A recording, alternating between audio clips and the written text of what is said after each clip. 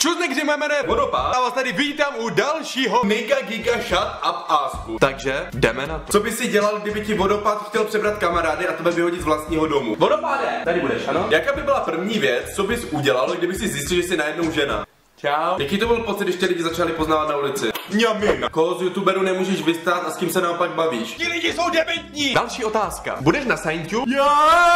Další otázka. Vláďo, kolik měříš? Jo, baby. Tvůj názor na iPhone 7? Oh. Jaký máš názor na Áňu Máňu? To je koko! Další otázka. Um, co bys si udělal, kdyby k tobě přišlo dítě a chtělo by, abys mu dal cigaretu? Je to prdel, že? Že? Co bys si dělal, kdyby vodopád utekl? Daleko by moc neutekl.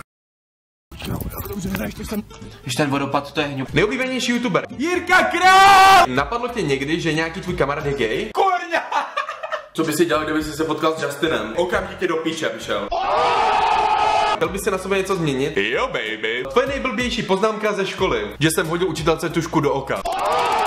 Co by si dělal, kdyby vodopád umřel? Piče, piče, popla. Kolik chodí s vodopádem ven?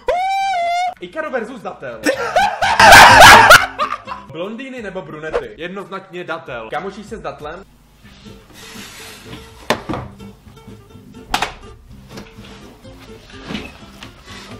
Čurák.